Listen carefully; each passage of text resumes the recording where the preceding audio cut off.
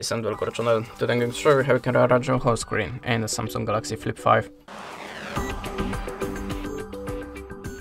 So to start, if you want to open the home screen just hold the finger on the empty place on the screen. Now you can go to the wallpaper and style. Of course, here we can change the wallpaper, but it's obvious, so I think we can skip it. Now we can go to the color palette, this is the colors of the system accents, like a settings icon here, and the top menu icons, so we can just switch to the pink and click apply.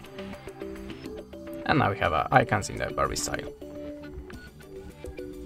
Okay, in the next step we can go to the themes. It's works exactly same like in the wallpapers, but in this place you can download your free themes for your for your phone. Okay, now we can go to the widgets. If you want to add any, just expand the solid app, hold the finger on it, and choose the place on the home screen for it. Now you can change the size of it by swiping the edge if you want to remove that, hold the finger and just remove. That's it. If you want to make any folder, just hold the new app and drop onto another. After that, you can change the color of the uh, of the folder. You can also tap on the plus to add more apps. If you want to change the name, tap on the folder name and type it by the keyboard, click done, that's it.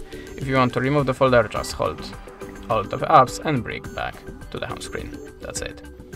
Okay, now we can go to the settings and there you have a, a home screen grid to choose and change the amount of, uh, amount of the application there are assigned in the columns.